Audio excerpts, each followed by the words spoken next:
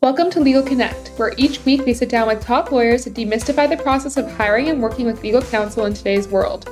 From navigating the legal system to understanding your rights, our expert guests will provide valuable insights and tips for anyone facing a legal challenge. So tune in, take notes, and join us as we explore the ins and outs of the legal profession. A quick disclaimer anything discussed in the podcast is general tips and advice, not formal legal advice. Always consult a lawyer. Hello, everybody, and welcome back to the Legal Connect podcast. I just wanted to give a quick disclaimer that this episode does contain themes of a sensitive nature. We talk about sexual assault, sexual harassment, and cases of gender based violence. Um, so just please be mindful of that when listening to this episode if any of those things um, are triggering for you. So I'm very excited today to introduce our guest, um, Nicole. She is a human rights lawyer at Ross McBride, and she's going to here to share all about um, what it's like to work both as a human rights lawyer and what kind of cases people might come to her for and how she can help support them. So, welcome, Nicole, to the podcast. Thank you, Rochelle. Thanks for having me, and hello to everyone listening. Awesome. So, yeah, let's kind of just start with the basics. I'd love to just kind of hear a little bit more about your background. So, introduce yourself and how you end up getting into the legal profession and more specifically into um, the area where you practice now, which is human rights yeah so i actually I, i've been a lawyer. Now i'm, I'm in my third year. So i qualified uh, and became licensed uh, in ontario to practice in 2020 um, right in the middle of the pandemic. Um, but before that i had a 20 year career working as a counselor and an advocate for um, folks who had experienced gender based violence. Um, so I started when I was 18 years old um, as a counselor uh, on a rape crisis line.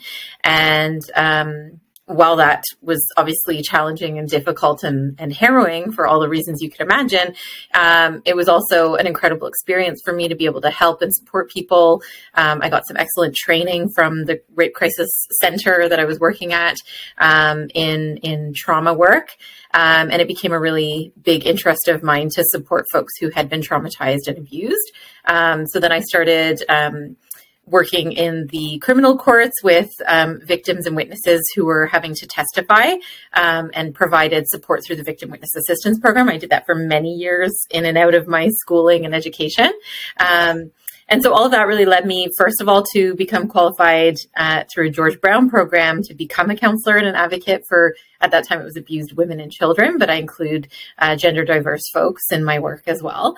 Um, and yeah, this is a really long answer, but this this is an interesting path that it, that led me here, and an important one really that gives you context for for why I do this work. Um, so yeah, I, I also uh, provided a lot of counseling and support within the um, shelter space for uh, women who were fleeing domestic violence. Um, I also provided counseling uh, as an intake counselor for the Barbara Schlifer Commemorative Clinic in Toronto, which um, is a, a violence against women support uh, center that, that does amazing work. Um, and then I decided I would go, after that, I, I sort of became a little jaded, frankly, and saw that the system was letting folks down all too often. And a lot of the clients that I was seeing were falling between the cracks and I realized that, you know, the law needed to be changed and addressed. And so I decided to become a lawyer. So I went to England and I studied law in London um, at King's College London, um, which was wonderful. And then um, after that, I still didn't think I actually wanted to be a lawyer. I was more interested in policy change and research. And I thought I, I couldn't do that while practicing. I thought it was more like academic stuff I was, I was maybe thinking of. So I started working there with pregnant people that were fleeing domestic violence and, and really enjoyed that work. And while I was doing that, I also did a master's in human rights law um, at the University College London. And then after that, I went to China for a year and um, did some work uh, teaching critical thinking to Chinese high school students while I finished my master's. Wow. And then um, coming back to Toronto, I was working in a child abuse charity. So again, supporting child victims uh, of abuse going through uh, testifying in criminal court. But then I started managing the human trafficking program, which was also really um, interesting and insightful into like the incredible dangers that youth face in terms of being trafficked, which we can maybe talk about a little bit more. All of that is what led me to become a lawyer because then I finally realized um, the system's not going to change unless I get in there and and and ruffle some feathers. And and you know, one person can only do so much. There's lots of really amazing lawyers doing incredible advocacy work, but I wanted to be a part of that. So. Um, that led me to where I am. And that's why I practice human rights law because um, social justice is my absolute main passion and priority. And I really still want to help people who have experienced injustices, discrimination, violence, and abuse. And I want to help them find creative ways to seek justice uh, beyond, you know, the criminal process, which may or may not achieve that for them. Great. Well, wow. First of all, you've had quite the extensive career, but also extensive life experience. That's quite the uh, the journey you've been on in the last. You said twenty years since you first. Yes. right? Yeah. Yes. Yeah. That's that's amazing. Good for you. And um, like, how do you think that that you know, especially your work as a counselor? Like, obviously, you've been an advocate for your whole life. It sounds like, and you've had this you know social justice lens that you're bringing to everything. But how do you think that that has really um, kind of affected how you now work? As a lawyer, like I'd imagine even like some of those skills that you bring, mm-hmm. you know, from being a counselor versus just a lawyer who's never had that would be quite different, right? Hugely different. Yeah, yeah, hugely different. I think and and every lawyer is going to have different qualities. So I think really as, as a potential client, you have to think about like, what is it that you need the most? Um, and I'm I'm not perfect. No one is, right? So so perhaps uh, where my strengths lie, you know, some of my colleagues, for example, might be better at certain things, and, and I'll lean on them. Or that's why I, actually I love working at firm because I can partner with people and, and we can bring both our strengths and skills. But I would say, yeah, the the huge benefit to my experience leading up to being a lawyer is that I I, I approach my work with incredible compassion, like true, genuine compassion and uh, and empathy for folks, and and I get that feedback from clients a lot that they feel heard and they feel listened um, to. Um, and you know, I I think a lot of lawyers particularly ones that maybe don't have training in, in counseling, which is understandable. Um, they, they might say, well, I don't have time, you know, because everything, unfortunately, for lawyers is docketed hours and, and billings. And, you know, I, okay, every, every, you know, I don't know if people listening know this, but you have to basically track your time in six minute increments. Um, and that's, challenging and, and it's stressful and it's you know oh gosh go okay well i'm i'm now i'm now i'm talking and supporting somebody but this is taking more than six minutes. You know it's, it's an awful way to think but it's it's unfortunately the way the system's set up. Um, but i don't believe that it's a waste of time. Obviously it, it's incredibly important to give people the time and space um, to to talk about their experiences and to and, and to discuss their disappointment with systems.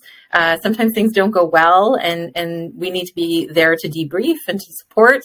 Um, but I also think that even in in hearing a client's experience and talking to them a little bit more about like how did that make you feel and and and validating their experience actually we get to a more personal story that isn't just the same as every other story. And so when I put that on paper, I think it has more power. I think it conveys more um, to the judge or the decision maker, depending on where we're going, a tribunal or a court. Um, I think it conveys to them what this person really experienced and who this person is, um, because all they're getting at, at, the outset is paper. and um, yeah, it's it's really important to put that personality and that that descriptive element of, of what people experience and, and the emotional impact that it has on them. Yeah, and I think like you mentioned that emotional impact is so important because in cases like this, it's it's very complex, right? It's not always so cut and dry, and that overall context or the the story of what kind of led up to these events is more important almost sometimes. I feel like than the actual action that happened, right? It's it's all everything surrounding it, right? Mm-hmm. Context, yeah, it's important. Yeah, yeah, I agree.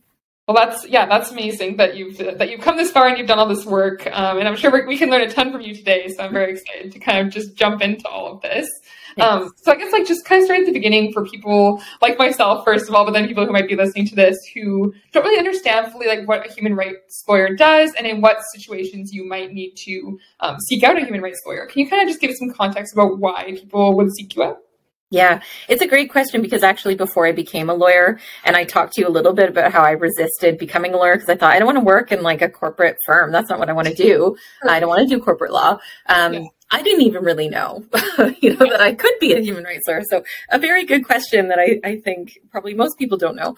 Um, so yeah, so let's imagine for okay, so thinking about Ontario, we have the Human Rights Code. Um, and that code provides protections for people um, from experiencing discrimination or sexual harassment um, in certain areas. So it doesn't, for example, if I was walking down the street and and someone shouts at me and, and calls me awful things that have to do with being a woman, for example, because that's one of the identities that is protected under the code, um, is your sex.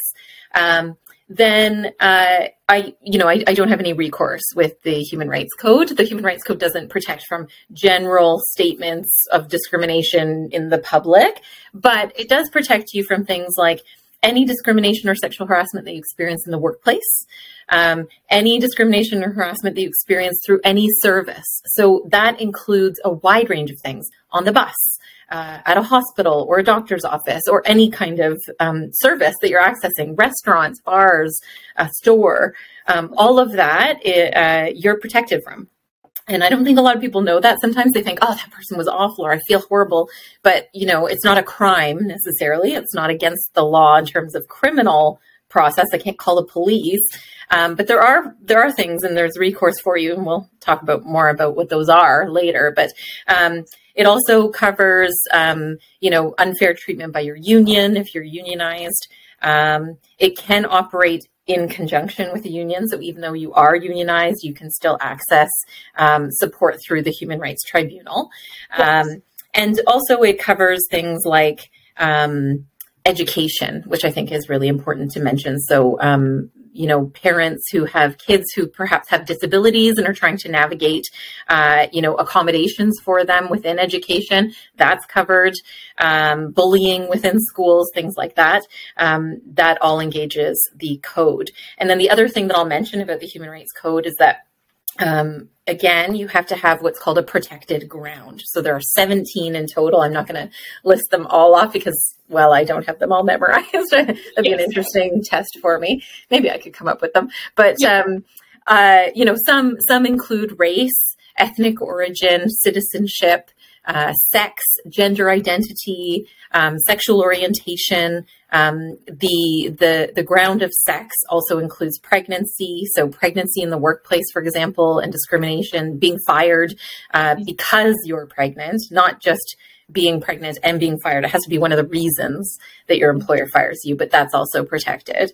Um, so, so yeah, I think that kind of gives you a really general overview of the human rights process and code in Ontario and the ways in which you might be able to engage with it and and seek recourse if you've been not just unfairly treated but uh, discriminated against.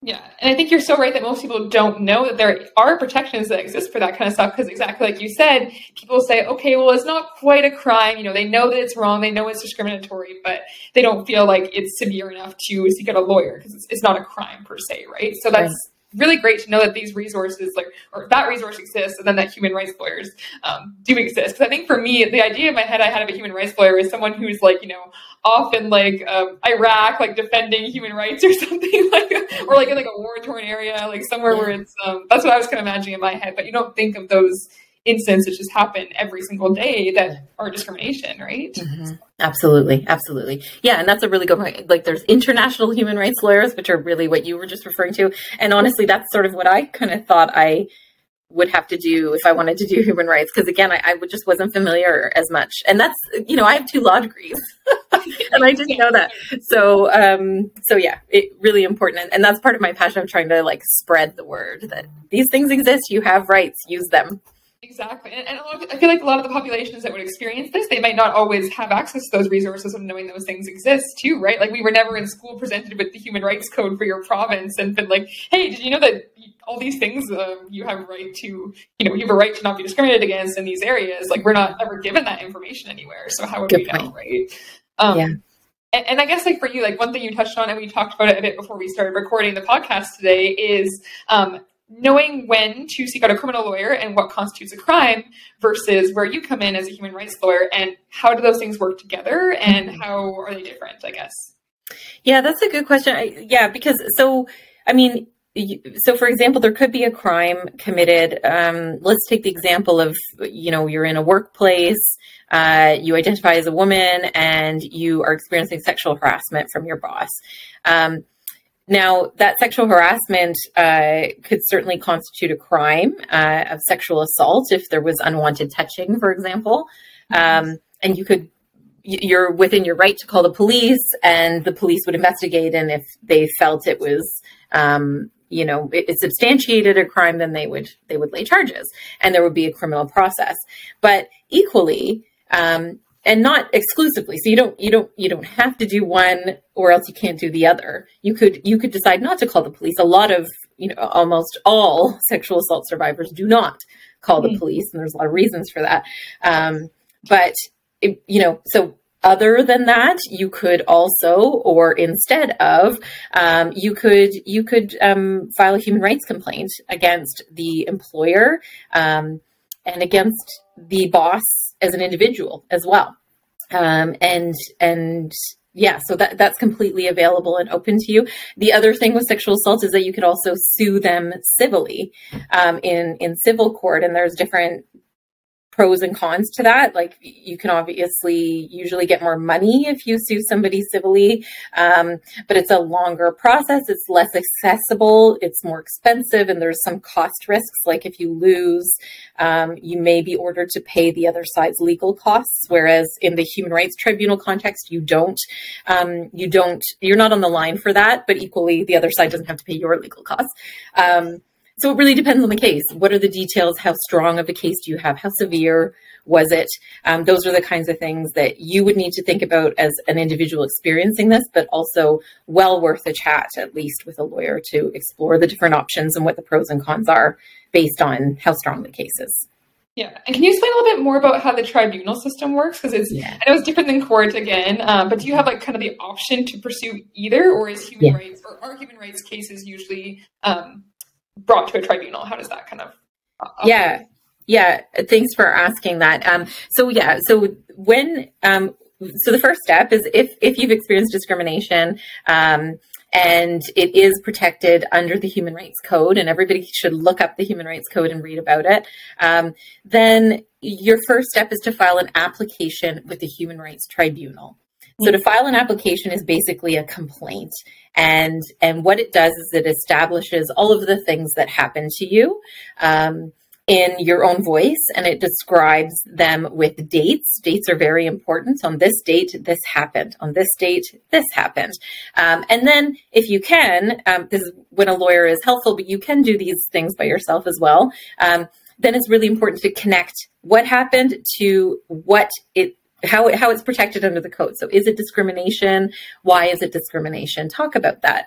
Um, the Human Rights Commission, the Ontario Human Rights Commission, if you Google them, they have an amazing website with tons of information. They've written policies on pretty much every code ground. So, disability in schools, um, failure to accommodate at work, sexual harassment in the workplace, um, discrimination by your landlord in housing context, and in there. They give you cases. They give you descriptions of exactly how to talk about discrimination. And if you this is a little pro tip if you quote that commission in your application then the human rights tribunal has to consider it. They have to consider the policies that are in there. So that's a, that's a really helpful thing.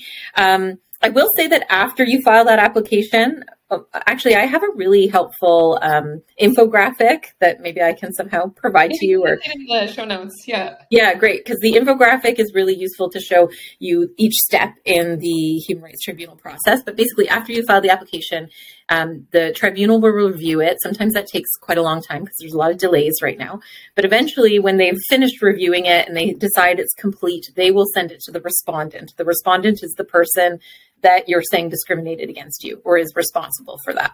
Um, they send it to them and then they have time to write a response which you know prepare yourself is always the opposite of what you say. Even if it's lies it, it, just is. This is we all have two sides of every story right? So sometimes that's hard to get and receive and read. But the nice thing about the setup is that you have the last chance to to state your word. So you have a chance to reply to that response. And then that closes the first process, which we call those pleadings, those those documents that sort of describe what happened. It's yeah. not at that point a chance to try and prove what happened or state your opinions about what happened. Try and keep to the facts. After that, um, as long as both sides agree, and usually they do, eventually it gets put through to mediation. And mediation is just um, a, a, formal meeting where um, you're trying to reach an agreement to settle the case. So you're talking about money here, and I'll get into that in a minute about the remedies of the Human Rights Tribunal, but you're talking about money. You're also talking about non monetary um, remedies like perhaps you want to be reinstated in your job because you were fired and you think that wasn't fair, or you want the promotion that you missed out on because you feel you were discriminated against because of your race. Um, there might be things like that. Um, there might also be accommodations that you're seeking. For example, your your child is in school and requires extra supports for learning, um, so you want those put in place. Those could be requests that you're making. And then, of course, there's public interest remedies. So those could include things like policy change. Um, you know, you want the organization to do an overhaul of its sexual assault policy and harassment policy. Um, you want uh, the organization to get an expert in human rights to provide training on a specific area of human rights, like discrimination or the duty to accommodate. Um, so there's all those things that you can ask for. But remember that a mediation is voluntary. So you don't have to go and they don't have to go. Um, but if they do, then what happens is you come on the day, it's usually by Zoom these days, and there's an official adjudicator from the Human Rights Tribunal, but they're not there to decide. They're, ju- they're just there to help navigate the process. And um, you don't really have to speak in front of the person that discriminated against you. You're in different breakout rooms. Um, but you would present with the help of a lawyer if you have one, um, your first offer, um, and then it sort of goes back and forth, and you see if you can reach a resolution. And if you do, then the case is resolved. You get whatever X things you asked for. It's not what you ask for, by the way. It's always less. This is a settlement. No one walks away completely satisfied from mediations. I have to say that. But sometimes it's better because it's guaranteed. It's like a guaranteed solution, and you can move on with your life um, as long as you feel comfortable with with what's been offered. Um, if that doesn't work out, then um, you go through to a hearing, which is like a trial. All of this happens at the tribunal. So there are adjudicators at the tribunal that make these decisions. They are like judges, but for the tribunal. Um, and whatever decision they make at a hearing is final. They, you know, it, it, it's an order that they create. So they could, for example, order the party to to pay you ten thousand dollars for pain and suffering. That is called general damages, and that's tax free money. So so it's not taxed. Um, the other thing worth, and, and actually, just because it's final doesn't mean you, have no recourse after that. If you don't like the decision, um, there is always the option to either ask for a reconsideration, so to ask the tribunal to reconsider their decision, or sometimes you can do what's called a judicial review. And I have to say, in terms of, because I'm quite passionate about access to justice issues, and I, I just think, you know, how many people i don't know if you know uh, what a judicial review is but like most people that i encounter don't. And unfortunately it's also held against them more often than not where you know I'll, I'll, read a document from a respondent and they'll say well they they could have judicially reviewed it but they didn't. But i just i you, how do you know what a judicial review is? Basically, it's where you can have a, a, divisional court, which is like a higher court, review a decision, any official decision that's been made, whether that's by a tribunal or let's say you're on ODSP and a decision is made that you don't like. You can have that reviewed. You can ask, there are appeal processes, but you usually only have 30 days, 30, 30, uh, to, yeah, to seek an appeal or to seek a judicial review. Um, so it, it's something that just has to be in the back of your head. Oh, Nicole said on that podcast, there's something I can do, but it's only 30 days. Call a lawyer, call me, ask yeah. me, and I'll, I'll tell you if there's an option, but time is limited. Yeah. Well, that's yeah. the thing too. I, I think why it would be so valuable to have a lawyer to guide you through this process. And I would assume for for you, kind of detailing this process, that are you that you can work with anybody throughout the entire thing from when they first go to like submit the complaint to the tribunal, like all the way to the end. I would assume. Yeah, that's right. That's right. So typically, um, typically people contact me um, before they've decided to to pursue uh, the process. They might not even know that the process exists, but they think I've been really wronged here. There's something wrong. I, I need to figure out if there's anything I can do. Um, and then, yeah, I would help them draft the application, file the application, help them review the response, help them draft the reply, uh, help. There's a lot of sometimes procedural things that happen along the way that that you don't expect, like the other side asks for uh, an advanced order on something and you have to write legal submissions about it. That's where it gets a little complicated and harder to represent yourself. There are other people that are a bit more legal savvy and want to do it themselves and they want to save some money so they'll i've had a few things happen like i think this is you know a helpful thing to think about in terms of being creative is that you could for example write the application yourself and have a lawyer review it i've done that for people where i've just reviewed it and provide edits and comments and then they just go ahead and file it themselves as a mm-hmm. self-represented litigant um, or i've had a situation where you know further down the road things get complicated. They've already filed the application. They've already got the response.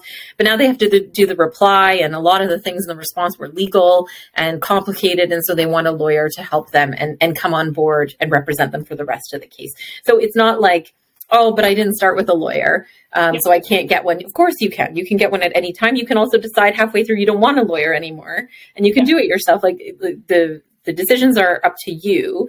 But I, I feel like maybe that's a good segue to get into the cost. Um, yes, I was about to ask that as well, especially like hearing like you outline these different approaches that you can take. Because like mm-hmm. I imagine that a lot of times, or more often than not, people who are filing a human rights complaint or report is people that are in a marginalized population, or they're well, obviously they are. We know that they're a uh, protected. Um, what do you call protected group? Or protect, protected population. Ground, yeah, protected ground. Yeah, so I would imagine that would also sometimes correspond to being a lower socioeconomic status as well. Is that yeah. accurate or? Yeah, yeah, exactly. Not always, but yes, absolutely. Like a lot of a lot of clients uh, from equity uh, deserving groups, perhaps are are in in in lower economic situations, especially like for example, like the Human Rights Code protects against housing discrimination, but it, within the housing context, we're usually talking about people who are renting um, or who are in social housing and on, obviously have have less money. Um, so yeah, there's a few options, um, and I can't promise that this is what you would be offered if you spoke to me or any other human rights lawyer, but it's certainly an option, which is contingency fee. So you may have heard this in the context of personal injury lawyers. They all do contingency fee, which is if you don't win, I don't get paid. Um, but yeah. yes, like the billboards, exactly. We don't we don't tend to do billboards in the human rights community. Maybe we should know. you know a little bit more at least about the human rights process. But um, but what I can tell you is that we we have a similar approach with a lot of our clients. Not all of them, and I'll tell you why in a minute. But um, what that basically means is that when you when you come, if it's an appropriate case for contingency fee, um, then you don't pay any money up front. Um, you're not on the hook for any money. So if you lose, you don't have to pay us. Um, if you decide you want to stop, you don't have to pay us. But um, if you were to be successful, then you would have to um, pay a percentage of whatever you get um, to the firm or to the lawyer, uh, depending on who the lawyer is and if they're in a firm or not, um, to cover the legal fees. And that percentage is agreed upon at the very outset when you sign the retainer. A retainer is just a contract between you and a lawyer. Um, and uh, so everything's sort of spelled out like, okay, this is how it'll work. Sometimes, you know, if if you decide halfway through, you know what, I don't want the lawyer anymore, I'm going to stop, but then you are successful, you would still have to pay the lawyer for, for, for their work up to the point that you, you fired them. But, um, of course, if you weren't successful, you don't owe anything. Um, that's a really wonderful way to make this accessible to people. Obviously, it also takes away from what you finally get at the end of the day. But the way I see it is your chances of getting something are much more increased if you have a lawyer by your side, truly, because the system is really complex and complicated and, and hard to navigate. Um, and I'll just say, so in terms of deciding if something is contingency fee or not, um, it's really up to each individual lawyer. And it depends a lot on how much work is involved. Is it a really complicated case with lots and lots of legal arguments that are going to take many, many, many hours. Maybe we need more resources and we just, we can't, uh, we can't justify it on contingency fee because we don't think it'll um, get you enough money that it'll actually cover what we need to cover. Um, it could be that the case isn't very strong, but you still feel like you really want to go for it. Um, we're happy to support you, but in those cases, probably we would have to do an hourly rate. Um, quite often, sometimes in those cases where we can't do contingency fee, we can reduce our hourly rate. Um, so you have that flexibility. That's nice. Yes, yeah. we do have that flexibility, but again, it's an individual chat that would would need to be had with a lawyer to to really decide. Okay, how, how can we go forward? And and at, at the end of the day, it is the lawyer's decision to to provide you with whatever option, and then you get to decide if if that's a good fit for you or not. Yeah, and, the last question I have about cost is, um, aside from you know contingency fees being a tool and like the lawyer being willing to reduce their hourly rate, um, are there kind of like public or government funding or grants or programs available, like similar to the, how, how there's government supports for other things? Is there funding that you can apply for or access if you want to go and you don't have the money, let's say, to file a human rights um, claim, but you want to? Great question. Yes. So if you're very low income, then you and you could qualify for legal aid, but you do have it's quite a high bar uh, or low bar, I guess. Um, you have to anyway. You have to be very low income, and and they do consider the assets you have. So if you own a house, for example, they could put a lien against your house, which not everyone is comfortable with. Mm-hmm. Um, but legal aid is available. There are legal clinics who can represent people in low income situations who need or want to pursue human rights. Um, through the tribunal and they'll represent. So, so look into legal clinics. That's a really good option. Um, if, if you qualify. Uh, the other thing to mention is the Human Rights Legal Support Center. They don't always represent people, but they give a lot of helpful information over the phone, by email, um, you can call them with questions. So if you do want to represent yourself, you could call them throughout the process and say, I just got this response and I don't know what I'm supposed to do. And they can help walk you through the next steps.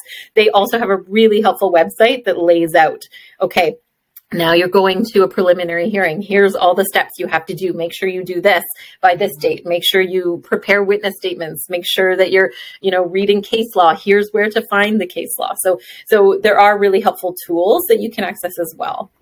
Yeah. Well, I think you, I would say you've already provided an excellent resource by even just clearly outlining how this process works. But then it's mm-hmm. nice that you've also been sharing these resources for people to access if they just want to learn more about it. Uh, mm-hmm. Uh, but now that we've kind of covered some of the general processes and how it works and how working with a human rights lawyer might work, um, I kind of want to get into some more like maybe specific questions or scenarios people might be potentially facing. And I'm sure that these are things that you've dealt with um, throughout your career so far. So, um, but going into the workplace specifically, because I think this is probably one that's very common, is harassment. Sadly, it is common, but harassment against um, women or um, people of other genders in the workplace, and people being afraid that they're going to lose their job if they, you know, file a claim against their employer or their boss or whatever it is. Um, I know you said that people can be reinstated in their job potentially, but I would imagine it'd be quite hard and there would be some like resentment afterwards if they try mm-hmm. and match the job. So is that like a common fear of people that come to you for that reason? Or how do you kind of approach that um, that situation? Mm-hmm. Yeah, I think it's it's it's really tricky when you're in a job and um, you're experiencing something and you maybe want to stay in the job. Like it, it, it becomes really complicated when you file a complaint. Um, to stay. uh, it's not impossible. You're completely within your right to stay in the job. Um, but things become a little uncomfortable, right? Because all of a sudden you've started a legal action against your employer and that's going to just create a really added tension, not to mention whatever you've experienced or are experiencing. Um, so there's that to consider. Um, one of the things that sometimes people do in those situations where things have gotten so bad that they've actually decided to reach out to a lawyer and, and take action is they want to try and negotiate an end to their employment um, as part of settling the whole thing. So it's it, it's not that they're just looking for general damages, but they're looking for you know a termination package, a severance package, basically that provides them with pay in lieu of notice and and helps them just move on with their lives. Um, that's something to consider, but not everybody wants that. Um, the other thing that you touched on that's really important to note is um, something called reprisal. So if you uh, try and enforce one of your code rights, so for example, your right not to be sexually harassed against um, or discriminated against because of your sex or your gender identity or your race or whatever it might be, if you say something about it. Like you go to your boss and you say, this is racism or this is sexual harassment. I need it to stop or whatever it is. You make a complaint and then all of a sudden you're fired or you're uh, missing out on a promotion that you were definitely going to get or whatever it is. It's some something happens where you're like, wait a minute, I'm being punished because I just said something. Or maybe you're worried about saying something because you will be punished. A few things. We can't stop your boss from breaking the law. so unfortunately, it does happen a lot. Um, and I can't I can't promise you that it's not going to just because the law says they shouldn't. Um, but there is part of the code that says reprisal is not allowed, and reprisal is another ground that you can claim in your human rights applications. So, along with discrimination on the basis of whatever ground or grounds, like for example, it could be race, gender identity, and disability. You could have all of those things and have experienced discrimination, then you should list all of those things when you file your application. But it can also be reprisal. Uh, the only other thing I'll say is reprisal is harder to prove because you have to prove that the person intended to reprise against you, to punish you. Um, yeah. The other things, discrimination, for example, you don't have to prove that intent. Um, so it's a little easier. But anyway, it's not something to be scared of. If, if it happened to you, you could still try. Uh, but that's, anyway, there's a protection there to to try and stop people from reprising against you for punishing you for for raising your your rights. Yeah, and that's good to know. Because at least, like, uh, yeah, you, like you said, even if it's not always followed, at least you know that there is something in place to yeah. to support. And I would imagine that most people would probably end up wanting to leave the job, like you said, anyways. So it's good to know they can kind of negotiate what that severance package will will look like ultimately, right? Right. Exactly. Yeah. Exactly. Um, and then I guess kind of another specific situation that uh, I think we're hearing about it more, and it's it's not because it wasn't happening before, but it's just because it wasn't as widely talked about. Is um, LGBTQIA plus based violence. And for so long, you know, these things weren't um, talked about for, for many different reasons, obviously. Um, but is that something that you specialize with as well? And like, how does the approach kind of change or does it change? Uh, I would imagine you probably approach everybody with the same, obviously. Um, but uh, yeah, like what kind of resources are there available for them for support? And, yeah. Um, and yeah. Um, so yeah, absolutely. I, so uh, the, protected under the code, uh, the Human Rights Code for sure. There are you know code grounds specifically for gender identity, gender expression. Um, uh, sexual orientation. Um, so all of those things are covered, and and those folks are definitely protected and within their right to file applications if they've experienced discrimination on the basis of their identity or sexual orientation or gender expression. Um, so, for example, the way they dress, um, uh, and that includes preferred pronouns. Uh, then it, it, also has to be within the context of those things I told you, the the social areas we call them. So, was it at a service or in employment or in housing? For example, those are the three main ones um, that they experience this discrimination. So that includes, you know, on a bus or by a medical professional or in your job. Um, uh, you know, there's there's a lot of cases that have gone to the tribunal specifically around gender expression, where um, perhaps somebody who is transitioning from male to female wants to start wearing dresses, uh, but they work in a factory and the boss says no. Uh, you know, the dress. This is a specific case. Um, no, the dress uh, is is a safety risk, and you know, is it really a safety risk, or are you being discriminatory? So, so those are the types of things that might be covered. Um, yeah, in terms of anything different, um, I wouldn't say so. I mean, I, I, certainly care about those issues a lot. Um, and I have a lot of clients that have experienced discrimination, particularly around their gender identity. Um, and I like feel pretty passionate about supporting them. Um, but it's the same process you know going through the human rights tribunal most likely. I guess the other thing i'll, I'll just jump back to the human rights process. Quite often um, what you can do especially with um, education so schools um, or uh, with employers where you're looking for like some sort of remedy. Perhaps it's like an accommodation that you're trying to get. Um, an accommodation just means like where the employer, for example, helps you to be able to do your job just as well as everybody else because maybe you have a disability that limits you. Um, and uh, you know, in order to get that, sometimes you don't even have to go through the whole human rights process and file a complaint. Maybe the lawyer just needs to write a demand letter from you.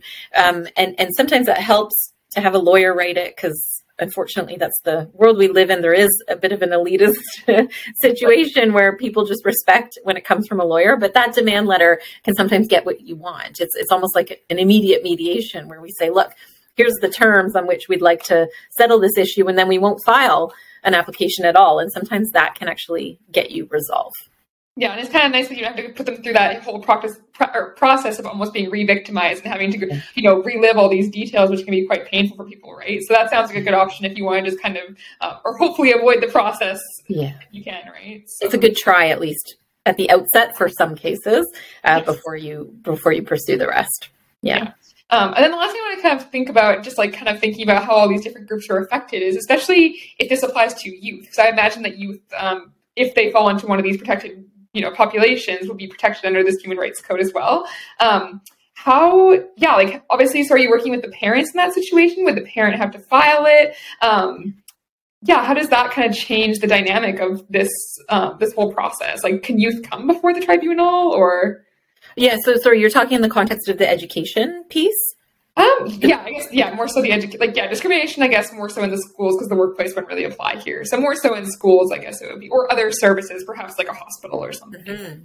Yeah. Yeah. So if it's a child that has experienced discrimination, um, they're still protected under the code, just like the rest of us. But yeah, it would be, it would be through the parent. So the parent, uh, sort of makes the application or the complaint, uh, on behalf of their child. You know, in, in legal terms, it's often called a litigation guardian uh, in in court uh, proceedings. But yeah, um, parents are entitled to make uh, applications on behalf of their children, and then the the the resolution really is for the child. So the child would be awarded general damages. The child might be awarded certain com- accommodations.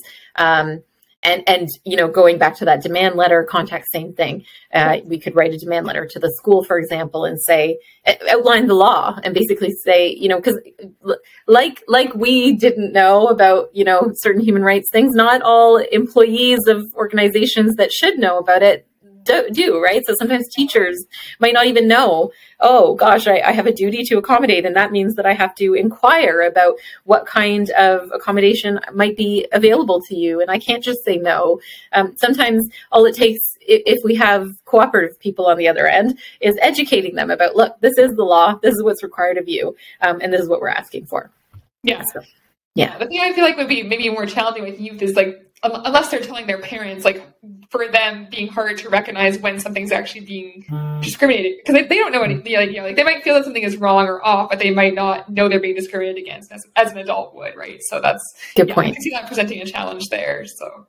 Yeah, good point. I mean, I think I think it, yeah, it, it is really up to the parents to identify. Wait a minute, there's a problem here, um, and then yeah getting getting help and support there is like uh, justice for children and youth um, a great organization for youth if, if they have specific legal questions or concerns that they want to reach out to an organization about they they do uh, like they're like a legal clinic for youth so that's another good resource oh that's great is that just in ontario or is that across all of canada it's just in ontario as far as i know i think they're in toronto yeah Oh, that's that's amazing. Though. I'm glad that things like this now exist. That's that's wonderful. Yeah. Um, and then I guess yeah, like you already covered quite a bit of them, so I don't want to you know braid it too much. But like, what other resources or supports should people be aware of if they think they have a case, other than going, um, yeah, obviously seeking out little legal clinics, um, reading the code and being aware of it. Um, consulting with a lawyer like yourself um, what other resources if people think that they have a case should they maybe seek out yeah, well, maybe I'll, it's just worth mentioning now uh, at the end so that people have it. Is the two that I mentioned that I think are really just wonderful resources. Uh, even I use them. Uh, is the Ontario Human Rights Commission. Um, they have an excellent website and they have all these policies that that give you very big details about what um, discrimination is, how the code works, what case law has been used, what um, employers should be doing. So it's even good if employers are listening uh, for you to read up on just so that you know what your duties are and so that you don't get yourself into litigation situations. Um, and then the other one is the Human Rights Legal Support Center. Excellent resource, great online help. Um, and also just like, you know, wonderful to call or to email if you have specific questions. Yeah, no, that's that's perfect. Um, yeah, then I guess like kind of the last question I have for you that's more maybe on a personal sense is um, obviously working with people who are in such a vulnerable situation and these issues obviously carry a lot of weight, you know, things like sexual assault and discrimination and sexual harassment, all these things. Um, how do you kind of set those personal boundaries and not take it so much upon yourself, which I'm sure you've learned a lot from your time as being a counselor, but is that challenging for you at times or how do you manage that? Oh, absolutely.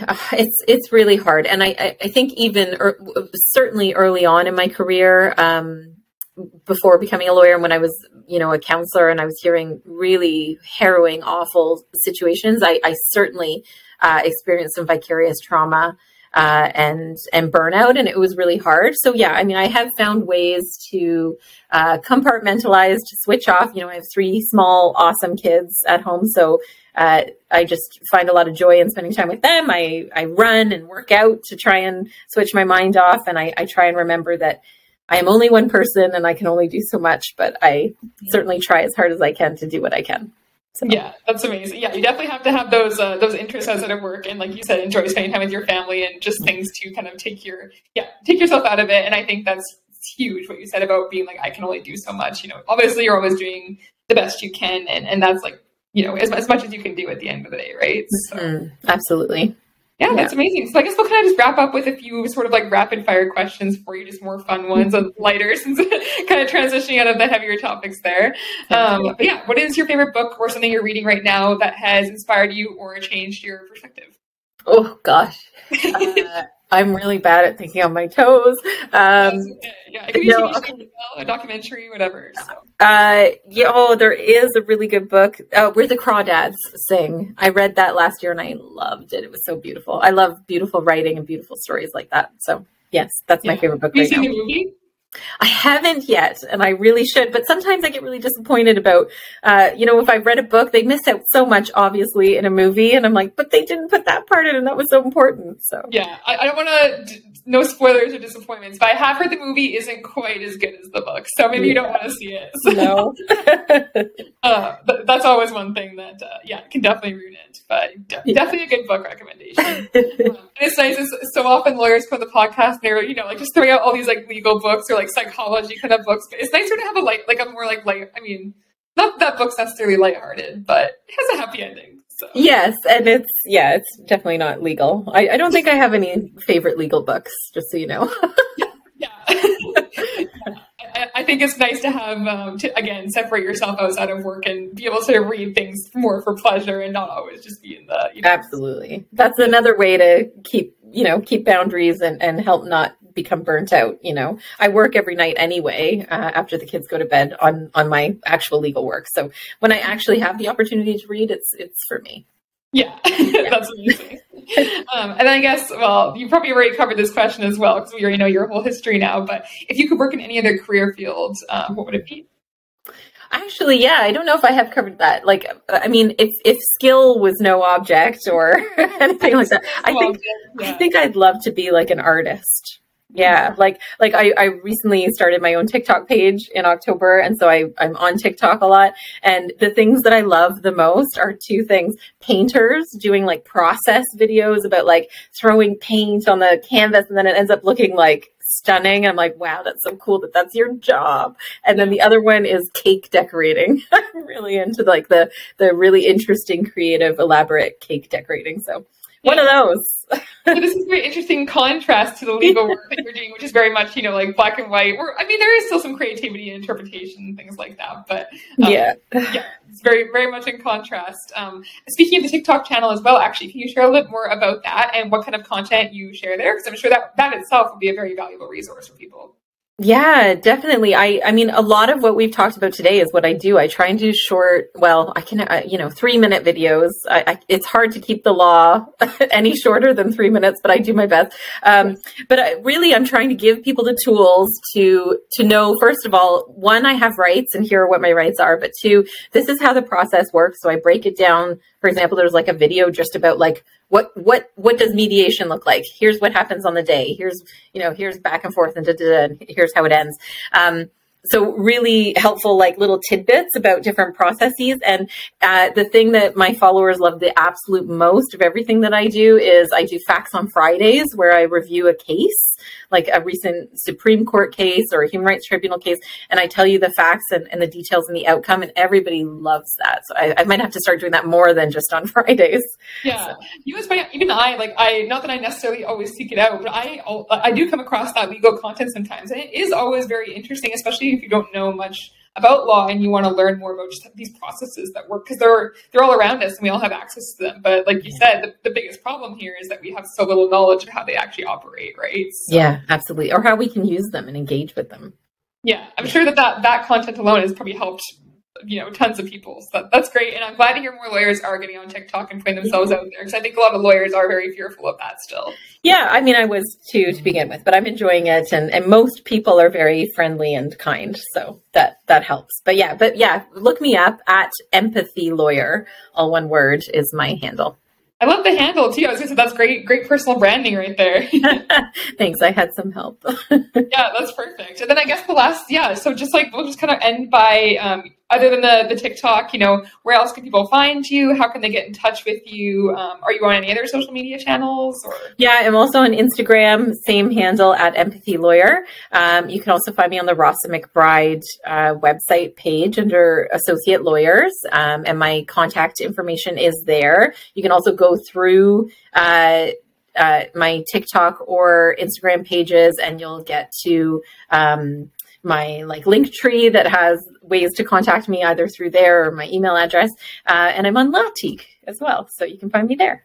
yeah, that's great. And I, you know, it's funny. I've had now, well, this, you know, having several conversations on this podcast with lawyers, a lot of them which do come from the Lawtiq platform, and it's amazing the lawyers that I've talked to of like how much compassion they have for their work and also their ability to go above and beyond for their clients more than other lawyers that I've seen. I'm not saying Lawtiq lawyers are superior, but um, it, I think there really is, and like it just shows that because you're on a platform like this where you do want to, you know, have people be able to access you more easily. Um, yeah. I, all the lawyers, including yourself, seem to have that in common, where they just really um, give their full self to this career, and they really have that that extra level of compassion that um, that's nice that I see. So that's amazing. So, yeah. yeah. Thank you so much, Nicole. This has been um, a, a, great conversation. And yeah, please do go get in touch with her, follow her on those platforms. I will definitely be going and doing an Instagram and TikTok. Thank you for having me. Thank you for tuning in to this week's episode of the Legal Connect podcast. We hope you found our conversation informative and helpful in navigating the process of hiring and working with a lawyer. Make the process of hiring a lawyer easier than ever and ensure the best match possible through our platform, lawtiq.com. And don't forget to subscribe and leave us a review on your favorite podcast platform. Thanks for listening, and we'll see you next week.